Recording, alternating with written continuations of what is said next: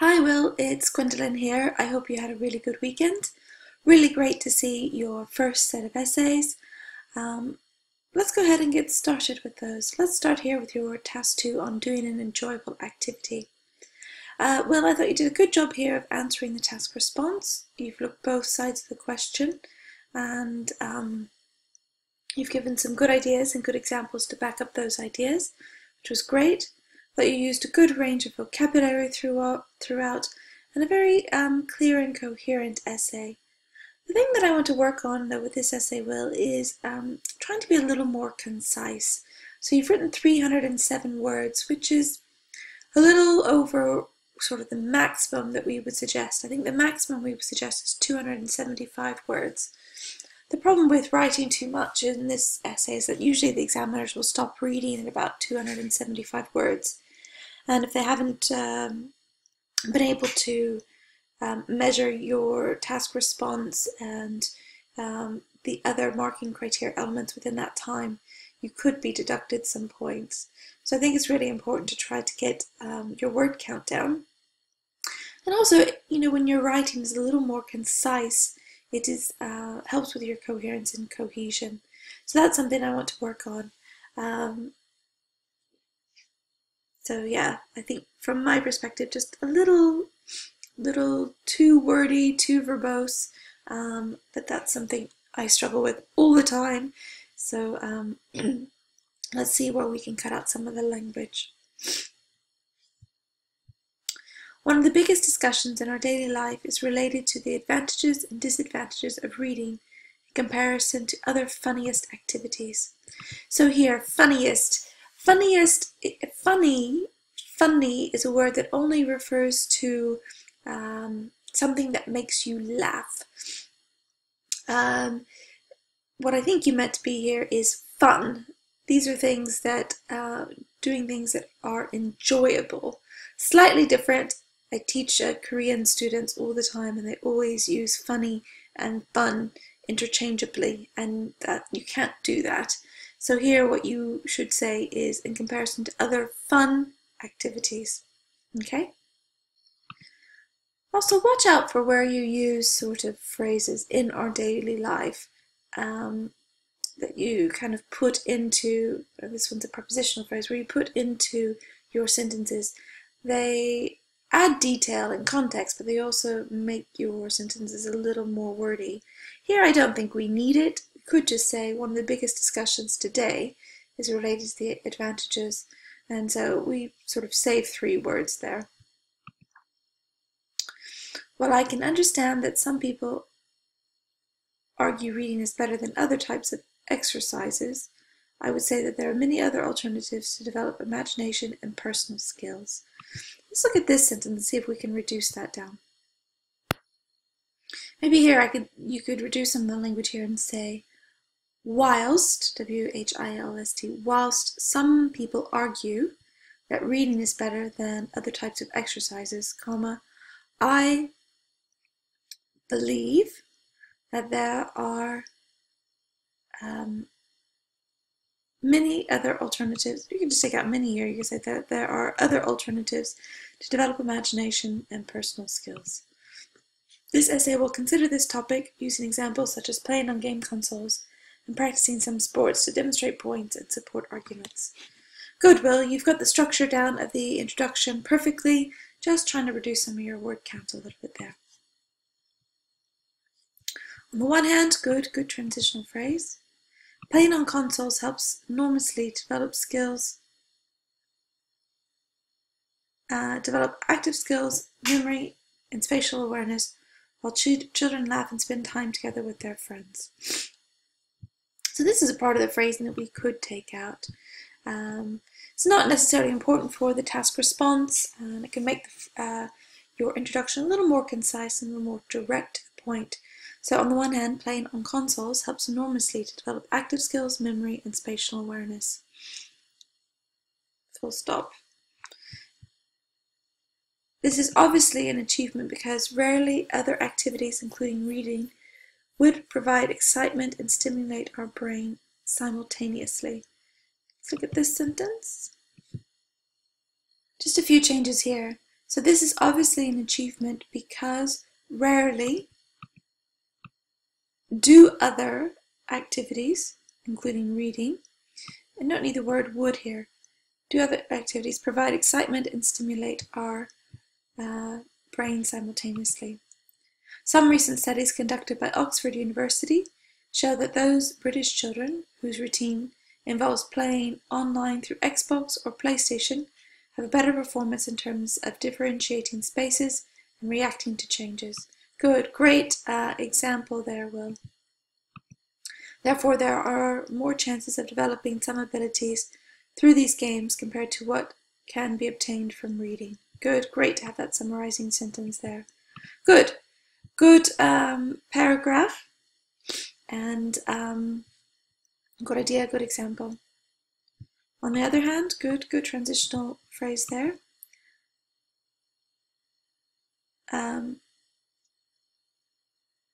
you don't need to put this phrasing in. I also argue you take that out. It keeps the same sentiment, but trying to, um, one, reduce your word count down. Also, I think once you get into the body of your um, essay, um, you can take taking out some of your personal, the phrasings around personal viewpoints um, is advised. So, on the other hand, other activities can make it easier to get better skills and imagination than reading due to the many benefits that some outdoor activities offer. Let's look at this sentence, see if we can make that a little more concise.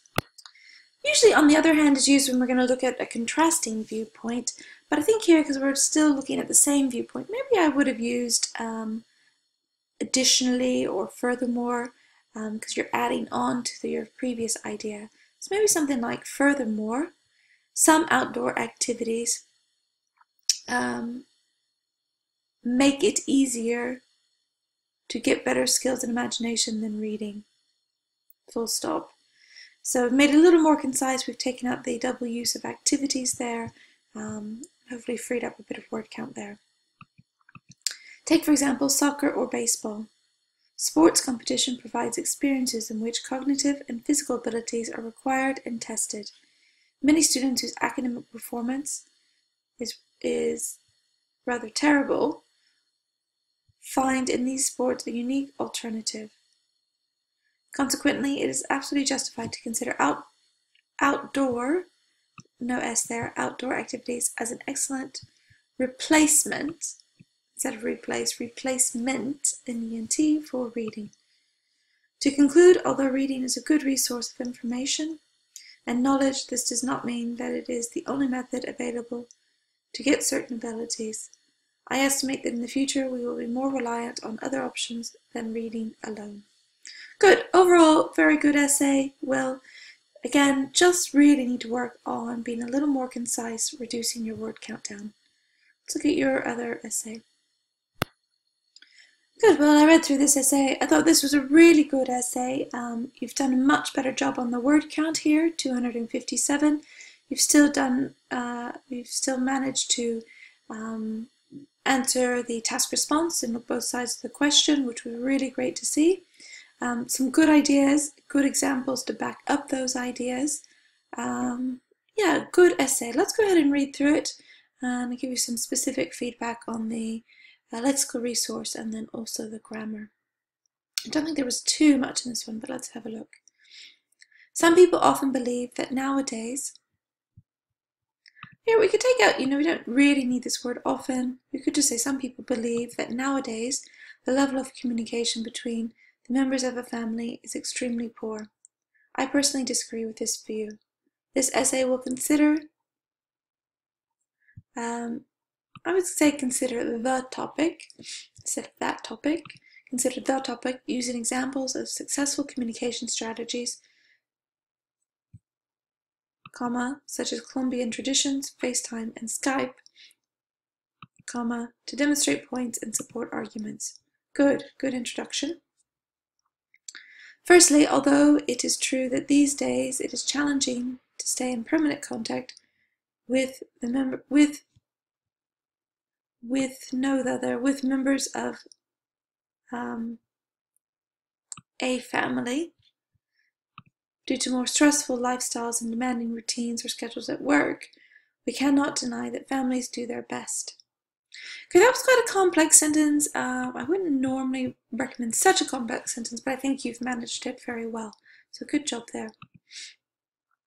Modern people try to keep a sane, at your article there, a sane balance between family and work and encourage a sense of belonging and community inside their own homes. In Colombian case, yeah, um, this is a little awkward. I wonder, um, just need to fix that. Um, maybe in the case of Colombians, for example, uh, particularly particularly those living in the capital. Families make efforts to spend lunchtime with their beloved ones every single day of the week. Therefore, children learn from this example, comma, replicating it once they have grown and constituted their own families. Good, good vocabulary there, Will. On the other hand, even though I want to move your your um, adverb there. On the other hand, even though more young adults currently spend time studying, even though young, even though more young adults currently spend time studying abroad, they keep in touch with their relatives through virtual chats and other resources, comma, namely FaceTime and Skype. A recent study conducted by Oxford University showed that 80% of international students dedicate at least three hours. Yeah, watch this. Whenever you're doing writing numbers or using numbers in your IELTS exam, try to write them out as words, particularly if they're numbers under 10. So here I would suggest this is T-H-R-E-E. Dedicate at least three hours per day chatting with their families or taking advantage of social networking and online communications with their parents. To conclude, there is no reason to support the statement that suggests a decrease in terms of communication in modern families. I estimate that in the future, I estimate that in the future, the situation uh, will not change significantly. Good. Really good essay here, Will. Just a few grammatical things. So what I would like you to do, Will, is to create a list of uh, your mistakes. We call this your error list. Um, so add any mistakes to your error list. I want you to go ahead and correct these two essays with the suggestions given. Watch the next set of podcasts and then write the next two set of essays and then get those back to me as soon as you can. Alright, well, fantastic work. Keep it up and I look forward to seeing your next essay soon. Bye for now.